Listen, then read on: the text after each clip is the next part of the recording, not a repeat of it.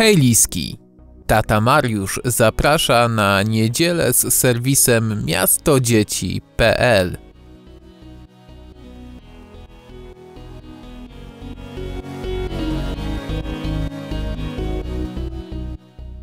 Robert Karwat Twardziel. Bajka o gołębiu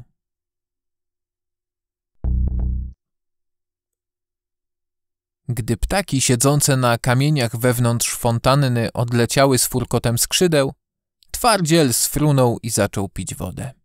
Potem kilkakrotnie zatrzepotał skrzydłami, pozwalając wodzie obmywać pióra. Zawdzięczał swe imię wydarzeniu w zimie, gdy po nagłej zmianie pogody jego całe ciało pokryło się lodem. Stracił wtedy dwa palce. Od tamtej pory utykał przy chodzeniu. Mimo to udało mu się przeżyć. Inne gołębie początkowo podziwiały go, ale potem zaczęły omijać. Coraz bardziej trzymał się na uboczu. Stopniowo narastało w nim poczucie tego, że coś jest z nim nie tak. Gołębia natura nie pozwalała mu się skarżyć, czuł jednak, że cierpi. Pod koniec zimy poczuł, że jest coraz słabszy. Przestał regularnie jadać, tracił na wadze, a jego pióra zmatowiały. W dodatku wokół jednego oka zaczęła wyrastać narośl. Początkowo nie bolało go to, ale wzrok stopniowo się pogarszał. Często chodził osowiały lub po prostu nieruchomo siedział na ziemi. Przestały go interesować nawoływania innych gołębi. Zresztą szybko go lekceważyły, zajęte kołowaniem w powietrzu, przelotami, wspólnymi posiłkami. Przyszła wiosna. Wokół tętniło życie. Coraz częściej można było widzieć gołębie starające się o względy samiczek. Rozpościerały wachlarzowato swoje ogony, zabiegając samiczką drogę, kręcąc się wokół nich i gruchając. Przyszedł czas miłości. Szarutka była cichą i nieśmiałą samiczką.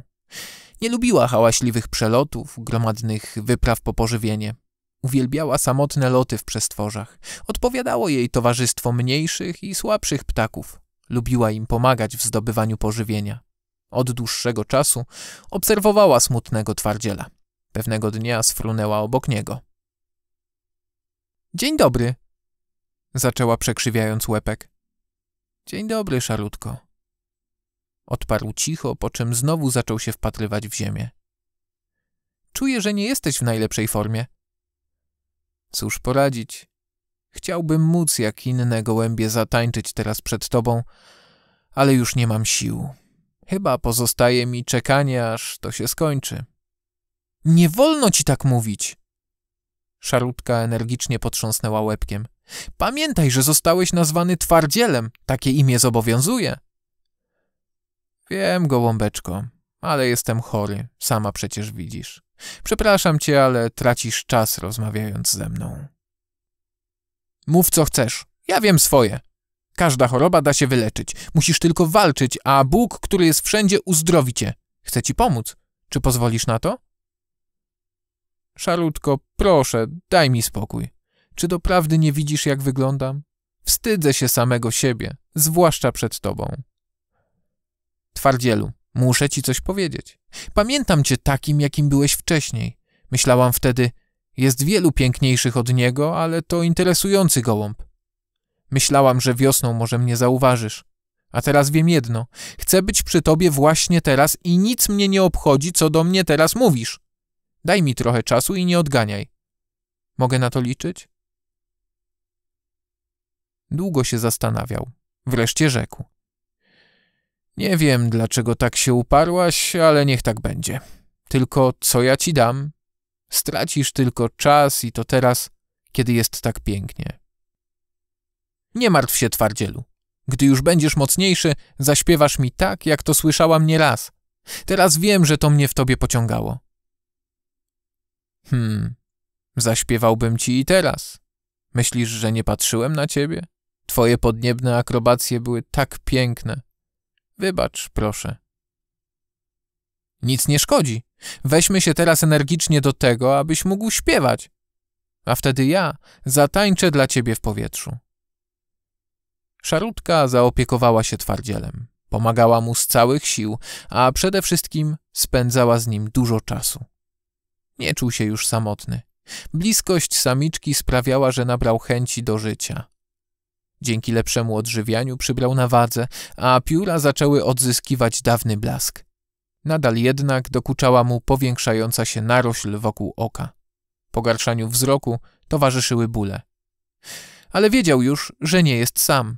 Ta świadomość pozwalała mu znieść każdy ból. Wiosna była gorąca. Nastały tropikalne upały przerywane krótkotrwałymi burzami. Któregoś popołudnia nadciągnęła wyjątkowo silna nawałnica. Korony drzew gięły się pod naciskiem wiatru i ulewnego deszczu. W pewnym momencie ogromny konar topoli pękł z ogłuszającym trzaskiem. Zdrowym okiem twardziel zobaczył szarutkę, jak znikała wśród spadających gałęzi. Rzucił się natychmiast i w chwilę potem poprzez strugi deszczu usiłował coś wypatrzyć. Dreptał wokół, wytężał wzrok i słuch. Wreszcie na oślep zanurzył się w splątanej gęstwinie. Prawie nic nie widział. Przewracał się co chwila. Siły go opuszczały, gdy natrafił wreszcie na kłębek piór. Poznał szarutkę. Trącił ją dziobem. Poruszyła się natychmiast. Widział, że jest unieruchomiona. Zaczął szarpać liście i drobne gałązki, powiększając wolną przestrzeń. Po długim czasie, po długim czasie obojgu udało się oswobodzić. Deszcz właśnie ustawał.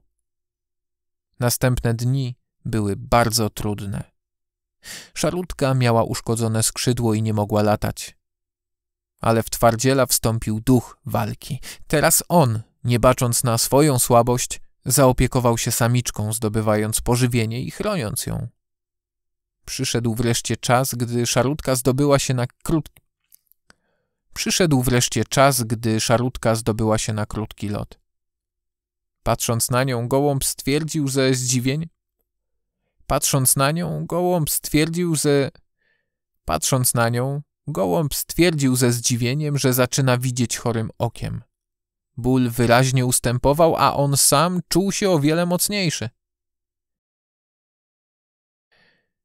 Nastały piękne letnie dni. Szarutka odzyskała siły. Śmigała w przestrzeni, wykonując zadziwiające akrobacje, po których opadała wdzięcznie w pobliżu siedzącego twardziela. Pewnego dnia on sam dołączył do niej w powietrzu.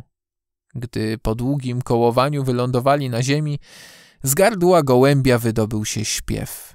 Pióra na szyi zafalowały i błysnęły zielonkawym połyskiem, a wachlarzykowato rozwinięty ogon omiatał ziemię wokół samiczki. Wzlecieli potem na gałąź obsypaną czerwonymi owocami wiśni. Siedzieli obok siebie, ruszając nieznacznie główkami i przyglądając się sobie od czasu do czasu. I co teraz powiesz, miły twardzielku? Nie chciałeś uwierzyć, że to będzie możliwe, że zatańczę dla ciebie w powietrzu, a ty zaśpiewasz swoją piosenkę. Masz rację, szaruteczko, ale to ty sprawiłaś, że uwierzyłem w siebie. Byłaś taka uparta, że cóż miałem robić? Musiałem się podnieść i walczyć. Nigdy nie uczyniłbym tego bez ciebie. I bez miłości, dodała gołębica, trącając go lekko dziobem. Dostałem ją od ciebie, najmilsza, i wiem teraz, że dzięki miłości można pokonać każdy strach, każdą słabość i każdą chorobę. Wkrótce dwoje piskląt otworzyło oczy, by spojrzeć na świat. Czytał oczywiście tata Mariusz, czyli Mariusz Rzepka. Jeśli podoba Ci się to, co robię, wpisz w Google krzyżyk Tata Mariusz i wybierz najwygodniejszą ścieżkę do pozostania na bieżąco. Ilisku, dzięki, że jesteś i do usłyszenia.